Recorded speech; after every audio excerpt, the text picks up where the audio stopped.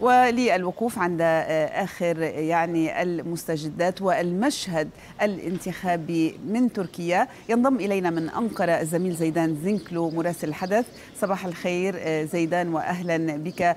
ساعة الحقيقة تقترب في تركيا التنافس على شده. كيف يمكن وصف الإقبال في هذه الساعات الأولى من هذه الانتخابات المفصلية في تركيا؟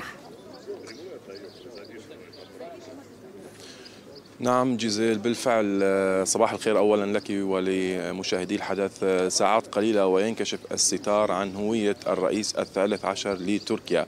هل سيحافظ الرئيس رجب طيب أردوغان على مقعده في رئاسة الجمهورية أم أن صناديق الاقتراع ستأتي بمنافسه كمال كليجدار أوغلو؟ بالنسبة إلى موضوع الإقبال لا شك أن ساعات الصباح يعني تحدث قبل ساعة فقط بدأت عمليات الاقتراع. هنا في في العاصمة أنقرة وفي المكان الذي نتواجد فيه نحن في منطقة تشانكايا.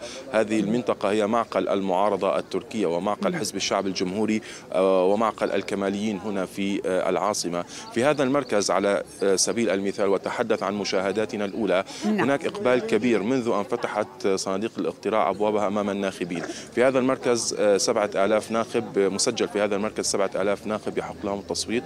بعد نصف ساعة من بدأ عمليات التصويت سألنا المسؤولين المسؤولين عن إدارة المركز قالوا لنا أن 10% خلال في النصف ساعة الأولى صوتوا فعلا في هذا المركز. هذا يدلل بشكل أو بآخر على أن نسبة الإقبال ربما تكون عالية توازي نسبة الإقبال الكبيرة في الجولة الأولى.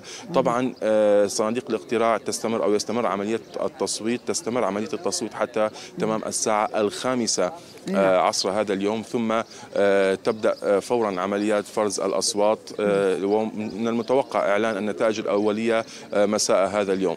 نعم. يعني كيف تنقل لنا أيضا مزاج الشارع التركي من خلال تقييم كلا الرجلين؟ كل واحد منهما استنفذ ما لديه من أوراق. نعم آه نقطة فاتتني قبل قليل سأتحدث نعم. عن الإجراءات الأمنية ثم أجيب عن سؤالك نعم. لو سمحتي آه وزارة الداخلية خصصت 700 ألف عنصر أمني. وزارة الداخلية خصصت 700 ألف عنصر أمني لحماية صناديق الاقتراع. هناك أكثر من 500 سيارة تدخل سريع آه للمشاركة في أي آه إجراءات أو أحداث خارجة عن إطار القانون. أيضا سيكون هناك آه في كل ولاية فريقين من الكلاب البوليسية المدربة. يمكن أن يرتفع العدد إلى أكثر من ذلك إذا استدعى الأمر. الأمر. أيضا الطائرات ستحلق نتحدث عن طائرات المسيرة الدرون ستحلق فوق المراكز ذات الحساسية الأمنية. وهنا يعني نتحدث عن المراكز التي سيصوت بها كلا المرشحين وأبرز القادة السياسيين في تركيا.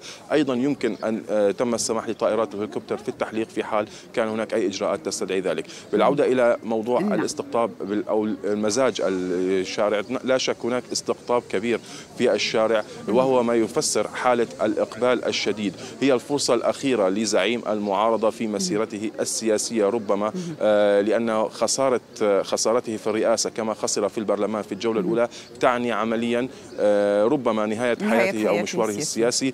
أيضا الرئيس أردوغان يخوض هذه يخوض آخر انتخابات رئاسية أو انتخابات له كرئيس للجمهورية.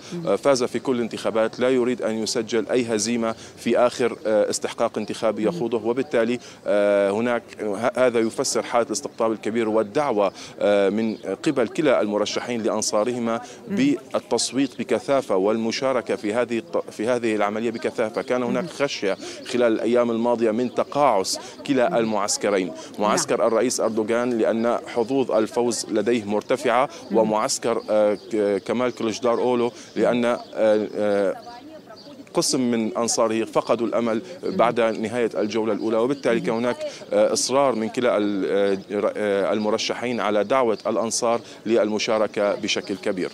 لمتابعة المزيد من الأخبار والبرامج والقصص الإنسانية والوثائقيات والتقارير. لا تنسوا الاشتراك بقناتنا على يوتيوب الضغط على زر الإعجاب وتفعيل جرس التنبيهات.